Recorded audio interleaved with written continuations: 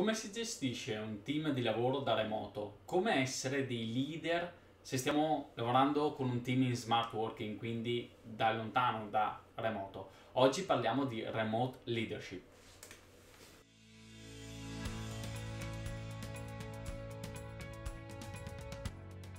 Io sono Luca Facin, sono un remote project manager.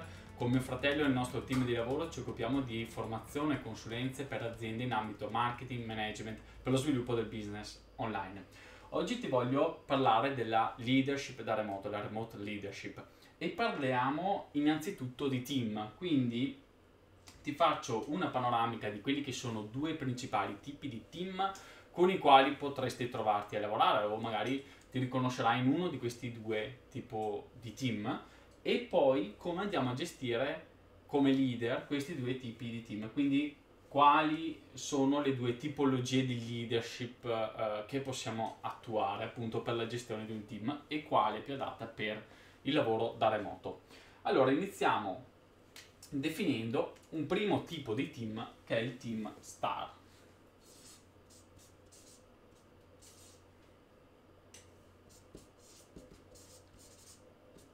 Vediamo se ci stiamo. Nel team di tipo star è un team a stella, appunto. Quindi c'è un leader in mezzo che eh, va a controllare un team distribuito in questa maniera.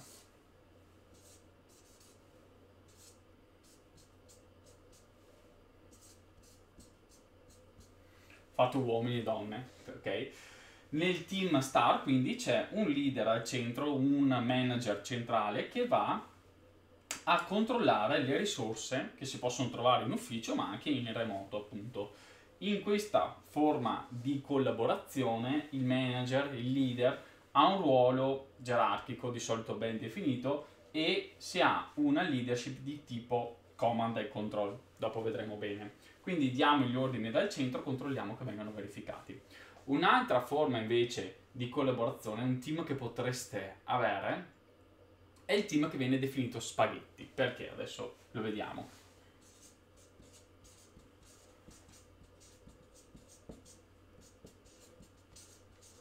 Quindi, team spaghetti. Facciamo la stessa forma di prima.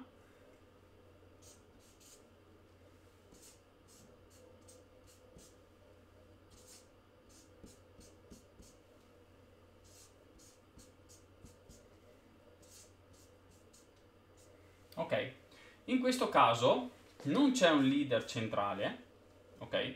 Quindi escludiamo la forma centrale, ma il leader è parte del team.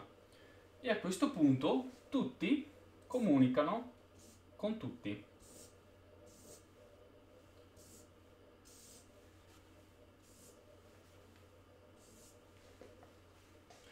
Quindi vedete come in questa forma di collaborazione abbiamo un gran coinvolgimento di comunicazioni diverse, quindi ogni membro del team comunica e interagisce con tutti gli altri membri. Per questo viene detto eh, team a spaghetti, appunto per la complessità della comunicazione. Ecco, molto spesso nei team di lavoro da remoto si ha questa forma di collaborazione e adesso vedremo che tipo di leadership dobbiamo attuare per quella forma di collaborazione. Ma intanto quando si utilizza meglio questa forma di team a stella e quando invece usare un team, lavorare con un team a spaghetti. Eh, diciamo che il team di collaborazione a stella è un po' il primitivo dei team di lavoro, è un po' un ambiente gerarchico simile ai militari, no? E in verità è antico ma funziona ancora molto bene nelle situazioni di emergenza o in attività che sono eh, ripetitive controllate, che si ripetono sempre uguali, che non dobbiamo, non dobbiamo inventare nulla, sappiamo esattamente che cosa bisogna fare entro quando. Quindi attività ben definite, ripetitive o attività in emergenza possono ehm, richiedere un team di questo tipo, dove c'è una persona al centro che dà gli ordini, dice che cosa bisogna fare e controlla che sia stato fatto entro quella data. Ecco, con questo tipo di team possiamo avere una leadership di tipo C più C, ossia Command and Control.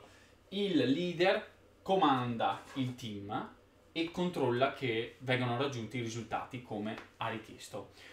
È una forma di leadership appunto un po' primitiva, un po' eh, più antica. Eh, veniva attuata per esempio eh, dalla Ford, no? negli stabilimenti Ford. Eh, ricordo che c'è una frase che diceva Ford, eh, cavolo, tutte le volte che chiedo eh, due mani per lavorare nel mio stabilimento arrivano con un cervello attaccato. Ecco, per lui è un problema che le persone abbiano un cervello che pensino, perché devono fare delle attività meccaniche ripetitive, catena di montaggio, quindi a lui andava bene avere delle persone che eseguono gli ordini nel tempo previsto, nelle modalità previste, con un controllo da parte gerarchica centrale, comando e controllo. Ok? Questa è una forma di collaborazione appunto pratica in ambienti militari, situazioni di emergenza, eh, ambienti dove i progetti e le attività sono ripetitive. Ma oggi abbiamo tantissimi progetti che richiedono intelletto, invece richiedono proprio quel cervello che Ford non voleva nella catena di montaggio, più che le mani. Quindi il nostro team è più forte se le persone pensano con la loro testa. E per lasciare che le persone pensino con la loro testa e interagiscono come un organismo unico che comunica, è necessario un diverso tipo di leadership che chiamiamo nuova leadership, ok? Quindi che cos'è il leader di queste forme di team? Ricordo sono team che vanno molto, be- molto bene in ambienti mutevoli, in progetti dove non sappiamo esattamente come si devono fare le attività, ma ce le dobbiamo inventare di volta in volta. Quindi non sono sistemi complicati, ma complessi. Cioè ogni volta che vado a risolvere un problema lo devo risolvere in maniera diversa. C'è bisogno della testa delle persone. Uh, per esempio io penso a studi di progettazione, eh, penso ad attività di consulenze, eh, web agency, noi per esempio facciamo campagne online per i nostri clienti, abbiamo una situazione di questo genere. Eh, penso proprio al settore soprattutto dei servizi, il settore terziario dove c'è un'alta componente di attività intellettuale eh, nel nostro lavoro. No? I famosi knowledge worker sono persone che portano valore al mercato, vengono pagati per la loro conoscenza più che per l'attività che fanno. Ecco, lì serve un team così, perché il team deve essere in grado di affrontare sempre problemi diversi e superarli. Tornando al leader, che cosa deve fare questo nuovo leader? Se non deve più dare gli ordini, perché abbiamo detto che non esiste più il leader al centro, che questo non c'è, che cosa deve fare il leader? Il leader deve fare da coach e da facilitatore per i membri del team. Che cosa vuol dire? Vuol dire che deve assicurarsi che i membri del team lavorino al meglio.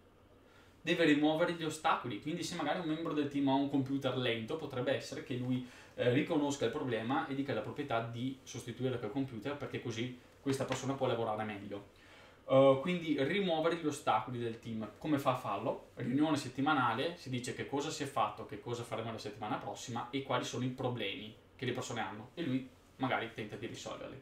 Uh, un'altra cosa è fare da coach alle persone. Cosa vuol dire fare da coach? Fare da coach vuol dire non dare eh, delle soluzioni dettate alle persone, ma fare in modo che le persone trovino da sé le soluzioni, dare le armi alle persone in modo che trovino la soluzione. Per esempio, eh, la famosa, eh, il famoso detto, no? non insegnare a un uomo a non dare un pesce a un uomo, ma insegnargli a pescare. Ecco, il leader qui deve insegnare alle persone a pescare, quindi deve insegnare alle persone a essere in grado di procurarsi poi il pesce da soli, ossia riuscire a risolvere i loro problemi da soli. Quindi deve fare formazione, training, deve continuare a istruire le persone. Il leader, una cosa importante che nelle aziende tradizionali ci sono stato, sono stato anche project manager. Spesso il project manager, il manager fa, fa le cose, il leader, il manager non dovrebbe fare le cose, le cose dovrebbero farle il team.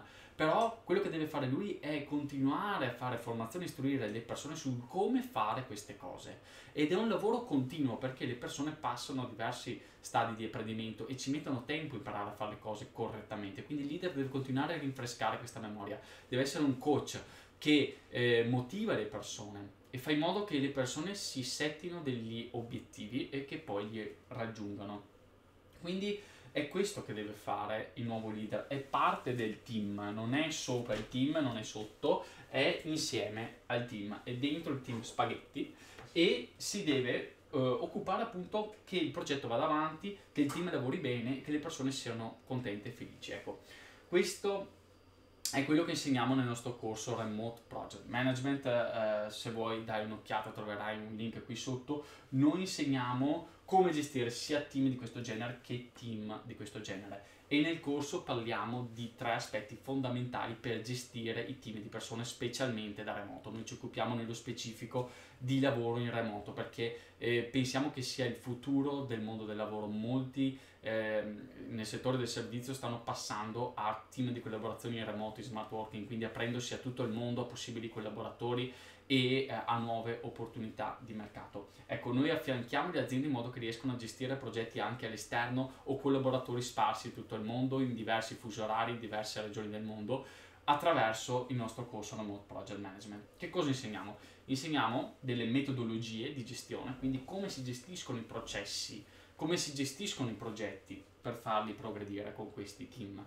Poi insegniamo gli strumenti, quindi anche quelli che sono i tools, gli strumenti pratici da utilizzare per lavorare meglio da remoto, quindi strumenti di comunicazione, strumenti di produzione, strumenti di gestione di attività, strumenti di tracking, di pianificazione, quindi diamo dei consigli, noi non siamo legati a nessuno strumento, ma di tipologie di strumenti e diamo poi anche dei consigli pratici su come utilizzarli.